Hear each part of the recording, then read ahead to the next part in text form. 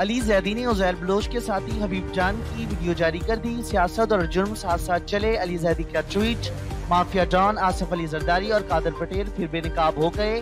Land mafia में कादर पटेल का नाम आ रहा है। मंशियात में सईद गनी मुलविस रहे।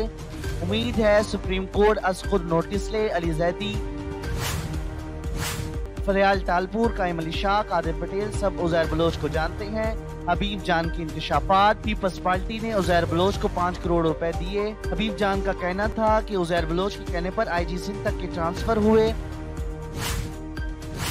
कराची में लोड शेडिंग और ओवरबिलिंग के खिलाफ चार रुकनी कमेटी कायम तीन रोज में रिपोर्ट तलब। आज कमेटी का दौरा कराची मुतव सीईओ के इलेक्ट्रिक अवामी समाज से उठकर चले गए। चेयरमैन नेपला ने तकसीम और पैदावारी की तफसीलात तलब कर ली। वज़ीर आज़म इमरान खान का तमीराती शोबे के लिए बड़ा ऐलान। मकान की तमीर के लिए तीन लाख तक की सब्सिडी मिलेगी। पाँच मरले पर पाँच और दस मरले पर सात फ़ीसद मार्कअप होगा। इलेक्ट्रिक के खिलाफ जमात इस्लामी आज शहर फैसल पर धरना देगी।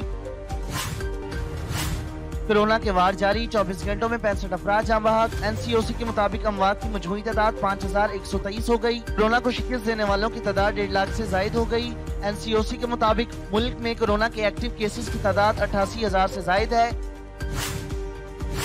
क्लासिकल गायक उस्ताद सलामत अली खान की आज उन्नीसवीं बरसी मनाई जा रही है।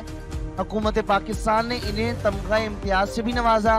सलामकुम नाजरीन, मैं हूँ ताहा अली और आप देख रहे हैं एच एन एन न्यूज़। मजीद खबरों और अपडेट के लिए देखते रहिए एच एन एन न्यूज़।